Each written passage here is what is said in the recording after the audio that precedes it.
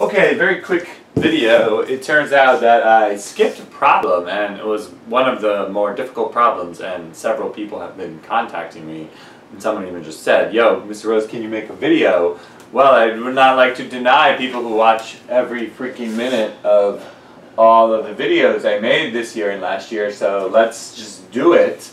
This is number 33 from the page 6 um, of the, the fun times with anti-differentiation packet, and you were supposed to, to finish this problem for homework and due uh, today.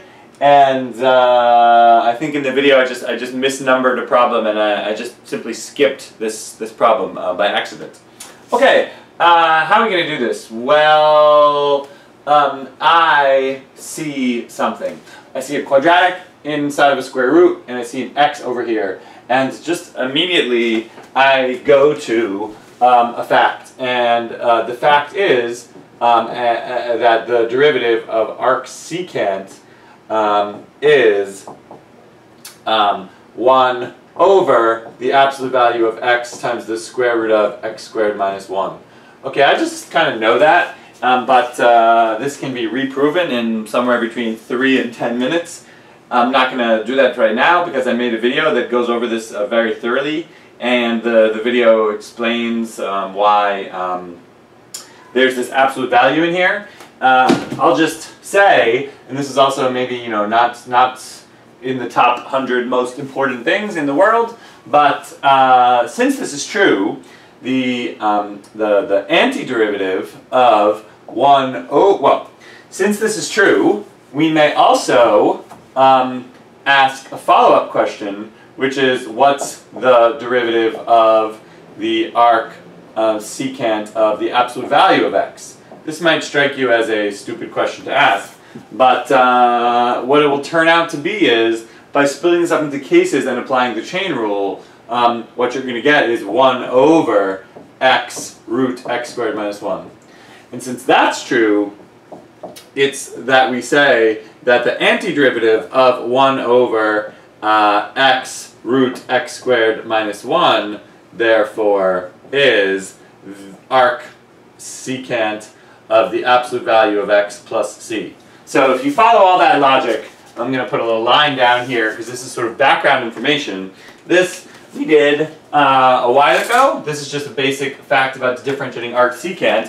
What follows is a kind of tedious uh, argument uh, involving uh, cases which says, yeah, okay, you know, the arc secant function is, is always increasing, uh, so it's always positive, but um, I'm going to just not say any more about that. All right, so here we go. Um, here we go. Let's do it. Uh, what do we need to do? We need to complete the square inside this square root so we understand what kind of function we really have here. So let's let's do that right now. So this is dx over, this is x minus 1, and inside here, okay, of course this problem has been written so that it's, you know, just just going to work out, uh, but let me, let me complete the square. So factoring out of 4, people find this to be very hard for some reason. No, it's just algebra. Uh, minus 2x, leave a space, and then um, to finish finish completing the square. Oh, and then there's just this plus 3 here. Okay, so this is just like the good way to complete the square. Uh, one number has to go here. Well, it has to be a 1. What have I just done? by writing a 1 there, I've just added 4. So if I just added 4, then I need to subtract 4. Uh, okay, and great. Um, this then becomes the antiderivative of dx over x minus 1, and inside the radical here we have root 4 x minus 1 squared uh, minus 1. Okay, and basically, uh, immediately now, I am going to uh, do a substitution. Some people don't do this, but I think those people are crazy.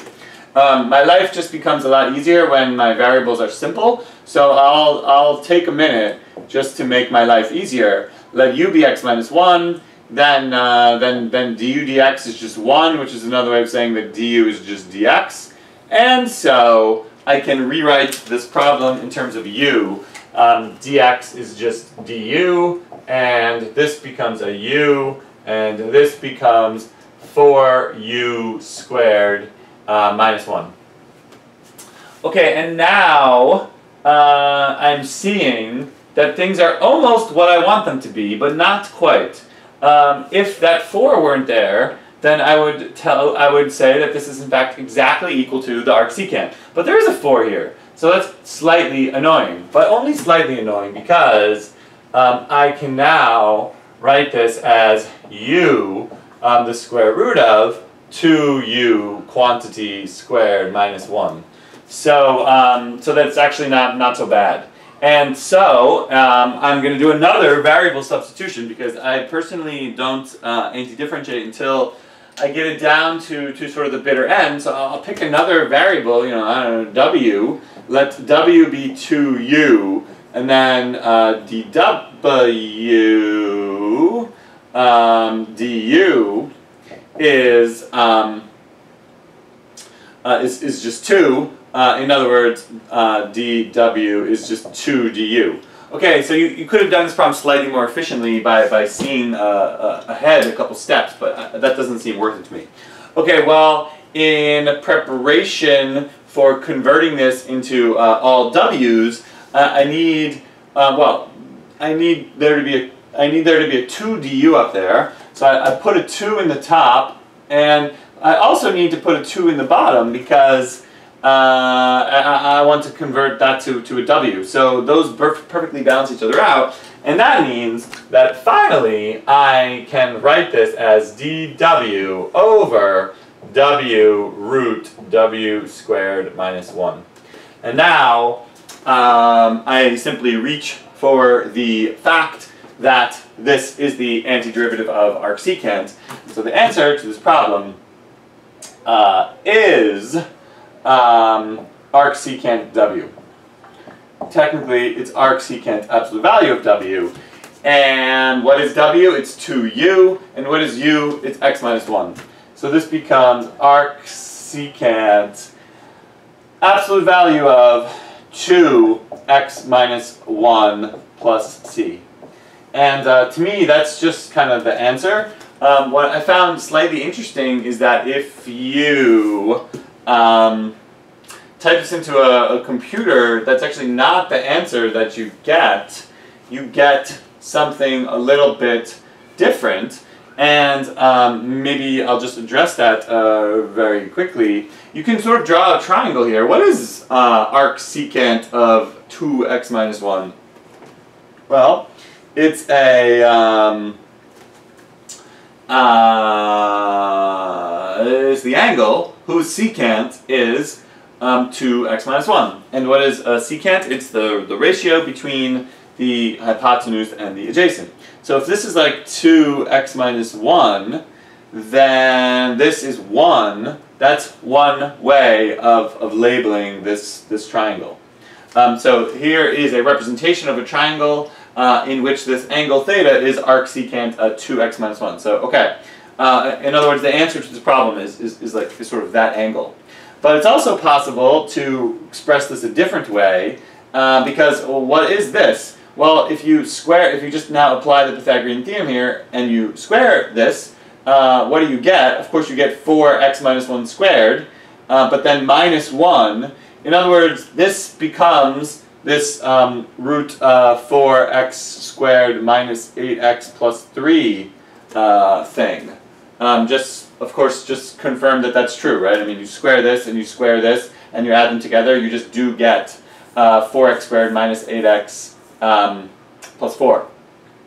Uh, okay, so uh, what that means is that there's an alternative answer to this problem, which, for whatever reason, the computers prefer, that, uh, that this is actually just arctan of the square root of 4x squared minus 8x plus 3. So don't be alarmed if uh, you're checking this problem with technology that you get a supposedly you know different answer. Um, well, it's not really a different answer because um, a given angle can be expressed in terms of arcsecant or can be expressed in terms of, uh, uh of arctan because uh, they're both describing um, that angle uh, sort of in different ways using, using different sides of the triangle. Okay, that was number 33. Goodbye.